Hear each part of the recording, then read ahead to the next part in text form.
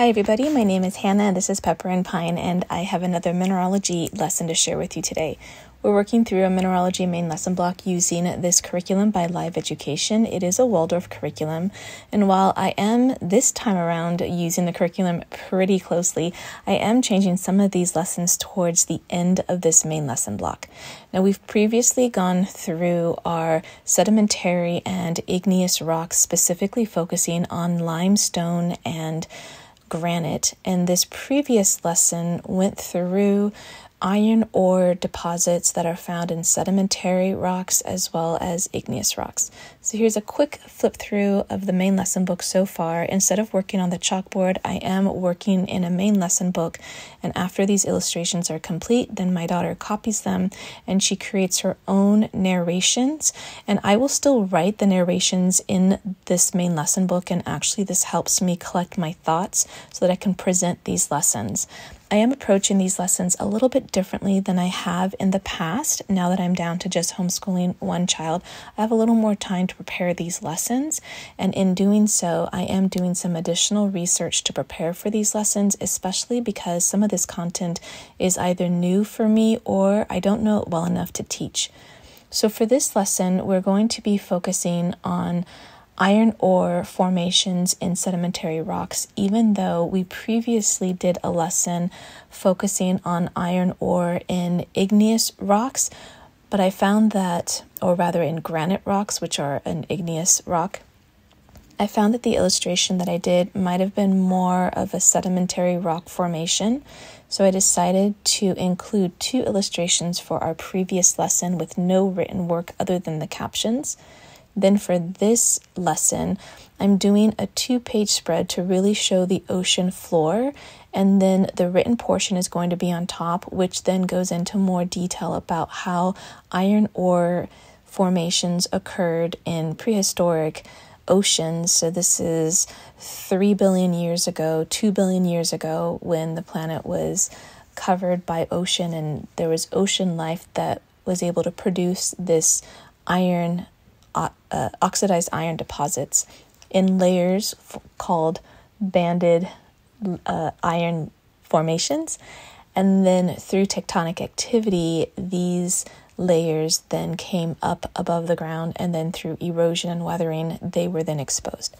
So that's the overview of this lesson, but it did take me a while to understand this content, especially coming out after working through limestone, which was the previous lessons, and talking about how we get cement, mortar, and concrete from limestone, we wanted to move into how we get iron and therefore steel from granite rocks. And so, after a long time of trying to figure this out, which it could have just been a statement rather than an explanation when it came to this lesson, but because I wanted to present these lessons with a little bit more detail and depth than what the curriculum was providing, and also for my understanding, even if the curriculum explained it, I wanted to understand it before explaining it to my daughter and presenting this lesson.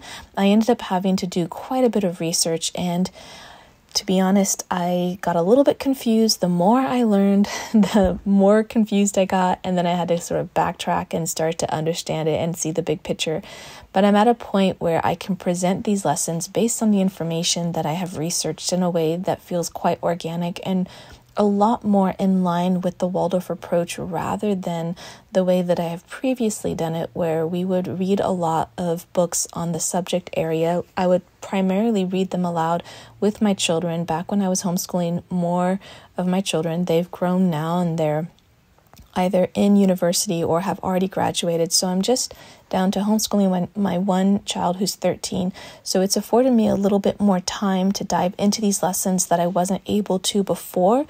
Whereas before we would just read through the books on a, a basic level, but this time around I did want to dive into some of these concepts that I would overlook or did not understand deeply when presenting them the first time around with my older children.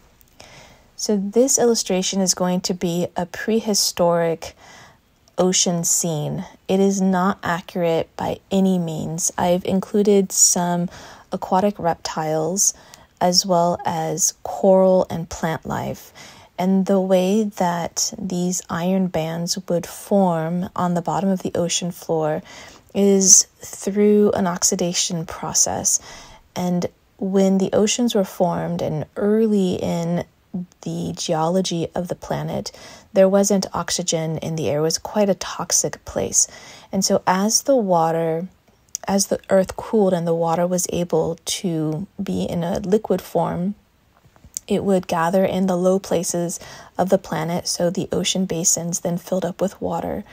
Over time, with plant and animal life, we had the the immersion of oxygen that was both in the atmosphere as well as dissolved in the water. With the oxygen dissolved in the water, it could then react with the iron that was also dissolved in the water. And the iron came from either hydrothermic uh, formations of the iron or through igneous rock formations that then weathered down and then were within the water and so that iron that had dissolved in the water then combined with the oxygen through an oxidative process, forming iron oxide, which would then precipitate out of the water. It would settle on the ocean floor, and over millions of years of accumulation and compaction, it would form sedimentary rock.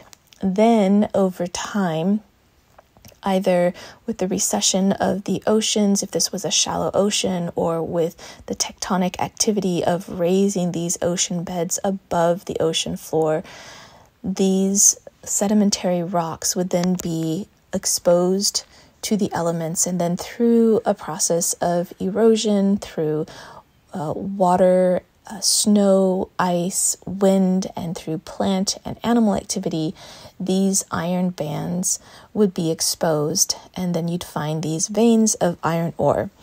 So, that is the lesson that we're doing here with this beautiful illustration of an underwater scene with all kinds of different uh, plants and animals that might have been present at the time that these iron sediments were collected on the base of the ocean floor. This did take a while to do. I was prepared to invest some time in doing this illustration, and I basically looked online for different scenes of prehistoric ocean scenes with aquatic reptiles, and there were many to choose from. So I took an element of a few different illustrations and then combined them for this illustration. Now, it was more detailed than it should have been. I think one or two aquatic animals, uh, reptiles, and then some kind of plant life to show that oxygen was present, I think that would have been enough to illustrate the point of iron being present in the water, needing to react with oxygen, which could only be there through plant life with photosynthesis and the production of oxygen, thereby those two combining to form iron oxide and then settling out on the ocean floor. I think that was the basics of the illustration or the basic point that I wanted to get across for this illustration. Now, this lesson is not in our curriculum, and that's because the curriculum was trying to show the difference between what the water rock of limestone as opposed to the fire rock of granite and the different building materials that we get from each. So, cement and concrete as building materials from limestone through uh, a chemical process that you have to do to the limestone.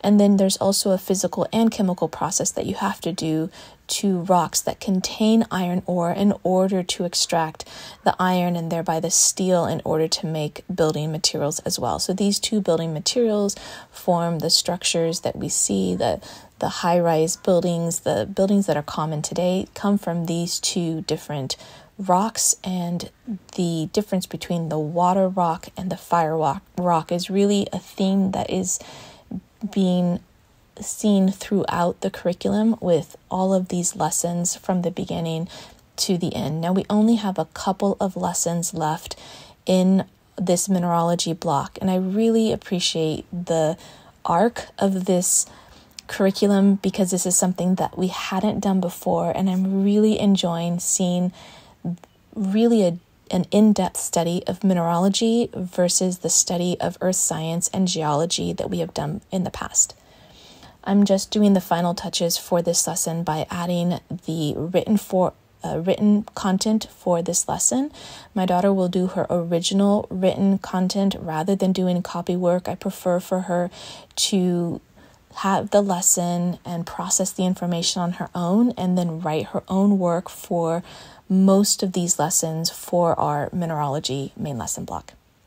I hope that you're enjoying these lessons. Don't forget to check out the blog post that accompanies this video. I share all of the resources and the projects and all of the lessons that we have done with our earth science, geology, and mineralogy main lesson blocks.